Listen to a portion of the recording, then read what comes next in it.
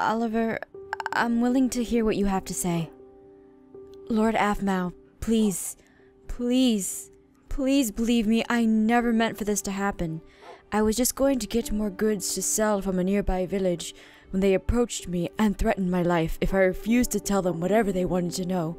I beg of you, spare me.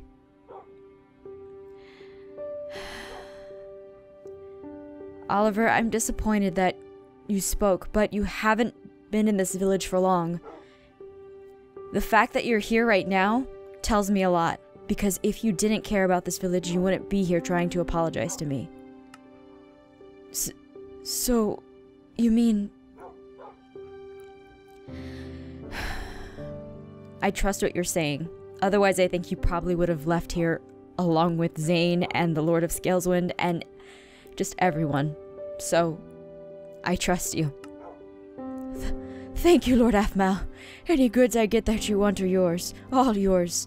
I swear to you, I will pick up a sword and defend this village. I never, ever meant to cause any harm. My lady, thank you. You're welcome, Oliver, but now I need to go talk. Just take your leave. I need to speak with Laurance immediately, especially about the amulet and and everything that's just going on. Laurance, are you here? Laurance, I need to speak with you. The conversation we are about to have stays strictly between you and I, Lord Aphmau.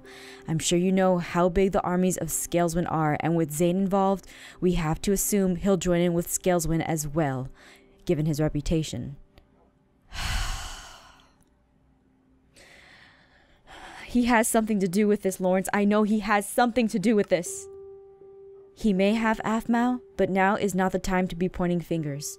I understand we have an undying vengeance on him, but look at me. Now is not the time to make rash decisions. If every single decision we make from here on out will have consequences. Consequences that will affect the life of our village, our people. We must refrain from accusing Zane until we can, without a doubt, prove he is behind all of this.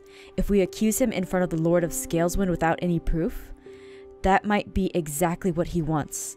The Lord of Scaleswind already sees us as an enemy. Adding more salt to the wound will only make him launch an attack on us sooner. I hate when people talk logic, especially with Zane, but. Is it Laurance could Zane could have planned this from the start. There might be some trace of evidence that we could use against him.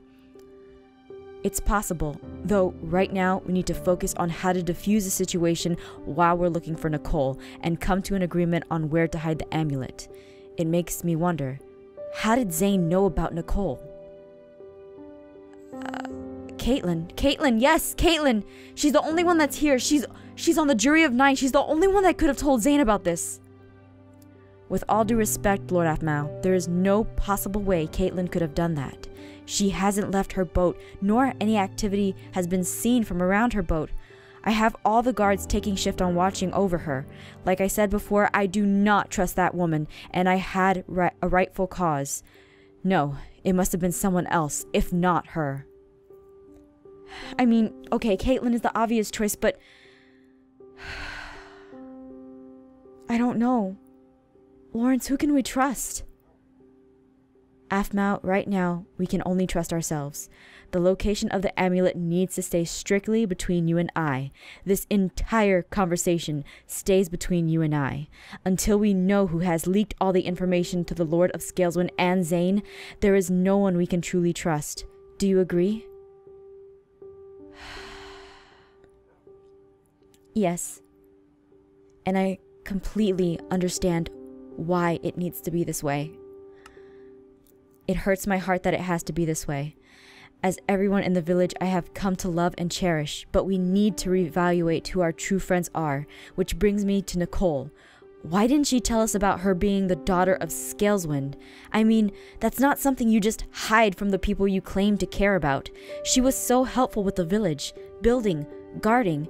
This just doesn't make any sense. Plus, there's the very fact that she was supposed to marry Garroth. Did she know who Garroth was only to watch him from the shadows? There are so many questions I have. But the one I fear is did Zane take Nicole? If he took her, then he can just hold her until until Scaleswind attacks us. But Caitlin's the only one that's here that could possibly do something with Zane. We've seen what's going on. I saw Nicole at the baby shower the other day. It's. No, it had to be someone else. It must have. That's the only thing I can think of logically.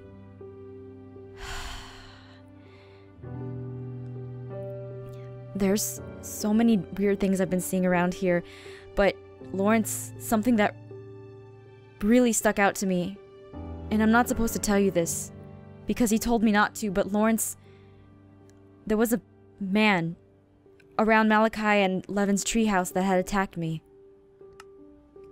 You mean the day I saw you coming from the treehouse? Aphmau, how could you not tell me this? Did he touch you? What did he do? When I get my hands on him, I'll make him. Laurance, he didn't do anything. He. He actually tried to help me. I don't like it when other men put their hands on you. If he wanted to warn you, he had a funny way of showing it. Lord Aphmau, I demand you take me to him. This man might be the one who just put Phoenix Drop in danger. All right. Let's go, Laurance. I know exactly where he is.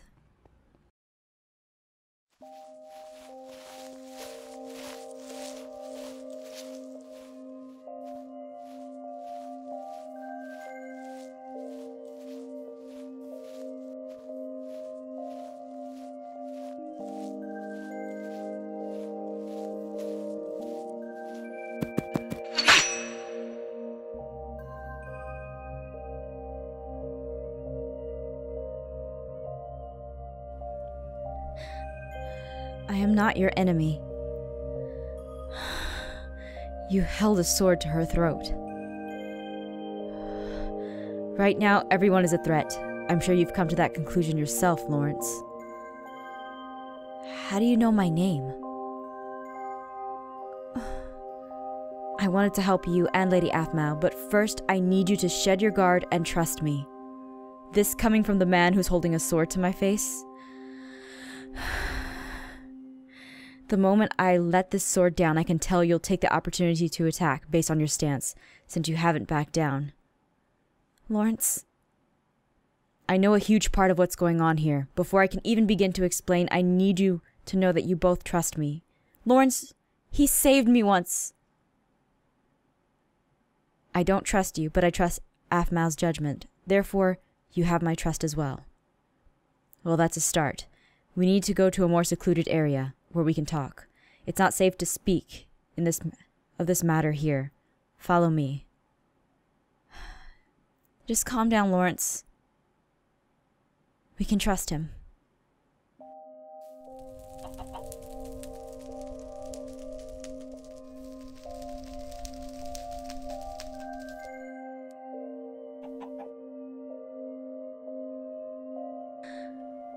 So this is where he's been hiding. I'm sorry. I thought I told you to tell no one that I was here. That was before Zane and the Lord of Scaleswind and just all this stuff, all this crazy stuff started happening. I can let it slide this time simply because it was for that reason. I was there when Zane and the Lord of Scaleswind approached the gates. I would have attacked and killed Zane myself had the Lord of Scaleswind not been there. If I did, I know Zane would have killed the Lord himself, and blame for the deed of killing the Lord, even if I had successfully killed Zane, would have fallen on Phoenix Drop. Your village would have been destroyed by the army of Scaleswind seeking revenge. How do you know all of this? That stone is broken. Wait, that's. That's. Isn't that an amulet that used. I have one of. But wait. This. I've had this for months. It's connected to the entirety of the Jury of Nine, Zane, and spies who have been working under Zane's command. I've been monitoring them and carefully moving so as not to bring attention to the fact that someone has been peering in on their conversations. Every action I take is not without planning and consideration of the consequences. I can tell you now that your village, Phoenix Drop, was at the center of many conversations had over this communication amulet. What? wait, you've had this all along? Well, has Zane been planning this? Like this entire plan? This entire time to come to Phoenix Drop has. What? No, Zane is very opportunistic. He's smart when it comes to taking an advantage of a situation, but I cannot say that I've heard anything of him planning for events to turn out this way. His marriage to you was most likely his original plan, not just to obtain the amulets, but to stop Phoenix Drop from rising. What? Why? I I don't understand. We're not I mean we're not even a threat. You were not a threat. But slowly, your village was becoming one. Do you realize how many Magix users are in Phoenix Drop? Not to mention a witch who's efficient in witchery, an elf from the sacred fortress of Yggdrasil, and the werewolf. On top of that, Laurance, a Shadow Knight. Even though you are outnumbered, your village has people who could make an army overpowered. If if that's the case and we have that power, why don't we just why don't we just gather so many people and we could crush Zane. I could just give him these amulets. He could leave us alone. We, we don't have to go through any of this. No. Do not dare give Zane that amulet. Like I said before, Zane is an opportunist. Why would he allow Phoenix Drop to stand while he has the Lord of Scaleswind ready to attack you? The thought of getting his way for both obtaining the amulet as well as destroying you is too good for him to pass up. Well, then, where is Nicole? I don't know. Whoever moved Nicole did it without communicating over the amulet. All I can tell you is that the person who is a spy has been here for a very long time. Wait, Laurance? Wait, how can you so easily trust me? Laurance, as I said before, you were mentioned many times as being a Shadow Knight from the village of Meteli. I know it's not you, and you are here in this conversation now. Laurance, I see. Then you must have heard the spy's name. We don't have too many people around here in Phoenix Drop. We know everyone by name. I do not know who the spy is. The spy's name is Velis. They're going under a different name here in Phoenix Drop, which I have not heard. The spy was most likely the one who moved Nicole. If that's the case, she can't be too far from town. There's no way they could have moved her without someone or myself seeing it. Laurance, then why should we trust you? How do we know you aren't a spy, trying to throw us off your path?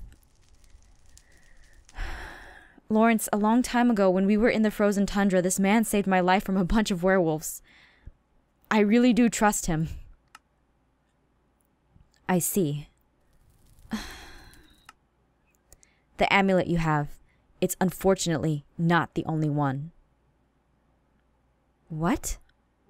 What do you mean? From the knowledge that I have now, Zane gave my son the first amulet when he was on the outskirts of my town. He ran home to show me the amulet, thinking it was a great treasure. As soon as I touched it, it was too late.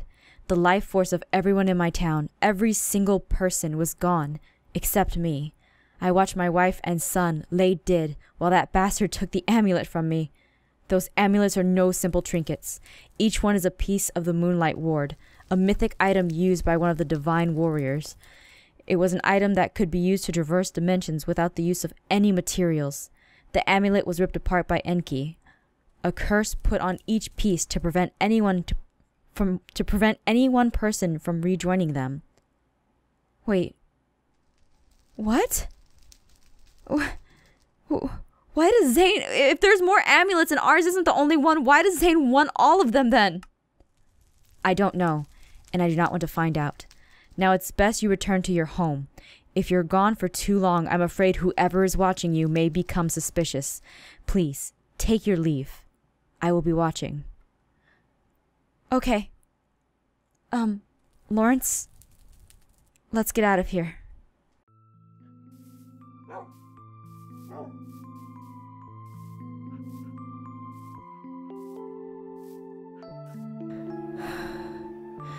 This is the most difficult situation we've ever been in.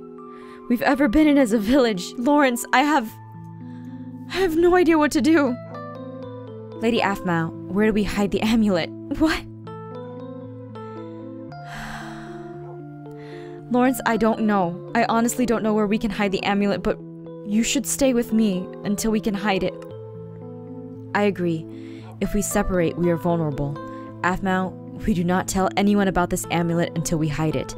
Not Zoe, not Garroth, not even Levin or Malachi. We need to keep them safe. Even if keeping the truth from them hurts, it will be worth it once we know the village is safe. What if we tell one person, and the next thing you know, they're coming to the village, and Levin gets. No! No. Let's retire for the night. We'll tell the village about Nicole and the immediate danger tomorrow. Nothing about. nothing at all about the amulet. You're right, Laurance. We can hold a meeting in the plaza, and what we do is we tell everyone what's going on. We tell everyone we need to find Nicole. I just hope everyone who's looking right now finds her. I know we have to hide that amulet and keep it safe. So, let's figure out a place to hide it.